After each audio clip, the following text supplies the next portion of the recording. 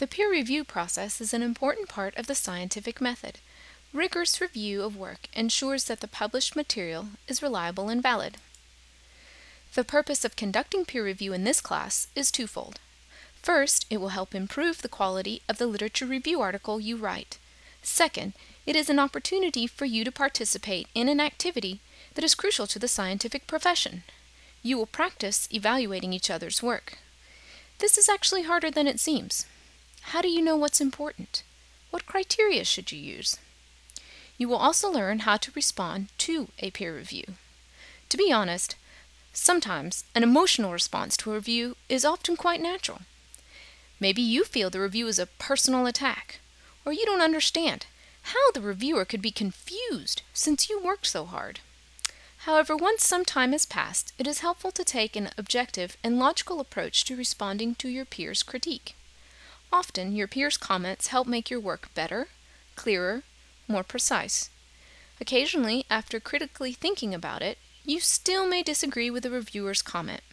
This is acceptable as long as your argument against the comment is based in logic or supported by evidence. In science, however, we peril if all reviewers' comments are ignored.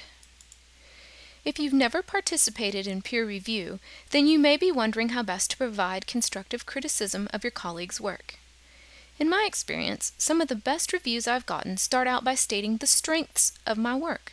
It's good to know you're doing some things well. Then, as a reviewer, you will want to focus on things that aren't clear to you. It's normal to have some sections of your work not be as clear as they could be. Peer review is helpful in identifying these sections. A reviewer should also make suggestions for how the writing can be polished. Comments should be an honest reflection of the reviewer's judgment of the work, but not a personal attack of the author.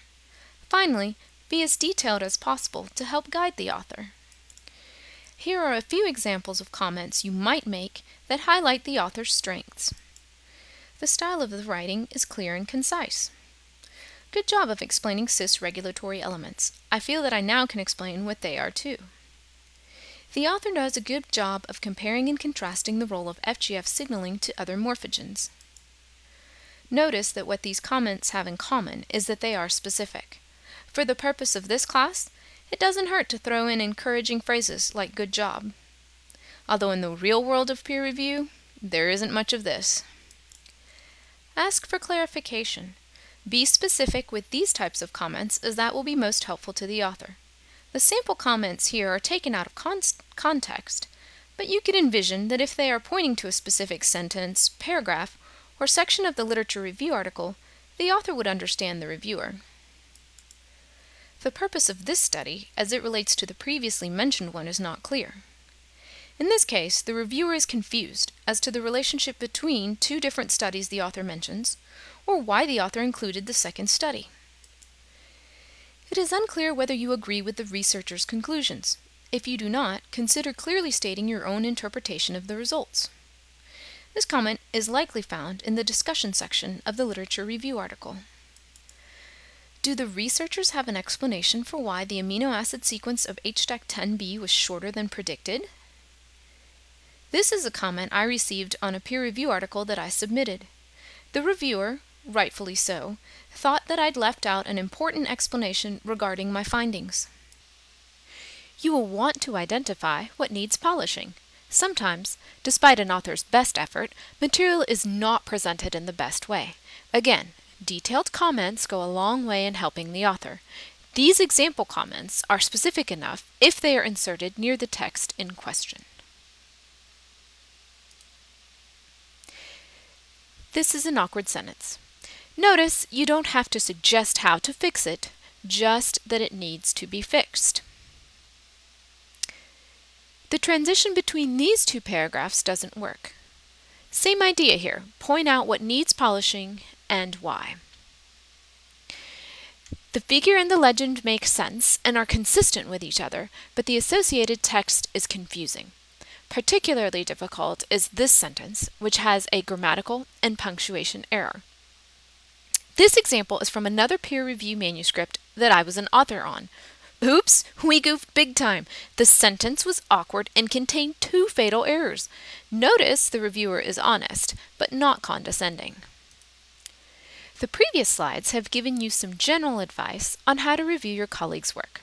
For class next week, we will use a grading rubric to help you focus your reviewing efforts. I will use the same rubric to grade your literature review article when you turn it in to me, so you can see that there is a benefit to incorporating reviewers' advice. There are three main parts to the rubric format, content, and sources. Format includes things like grammar, spelling, and organization, things found on the fatal errors list. Content asks you to focus on clarity, whether the literature review article contains new knowledge, that is recent knowledge, and if the information is adequately discussed. Finally, the purpose of the sources section is to ensure that the author has used at least six peer-reviewed articles, has cited them correctly, and has not plagiarized. The grading rubric I just talked about is available on Blackboard. To find it, click on the Literature Review article button. I encourage you to use it to assess your own drafts. You will also find the deadlines and instructions on how to submit your literature review article on Blackboard. Just click on the literature review article button. Please be sure to follow the directions. As always, I think it's a good idea to have a backup copy of your final draft. So please bring in an electronic copy with you to class. This can be on a USB drive or the ASUP drive. Keep up the good work and come see me or email, phone, or Skype me for help.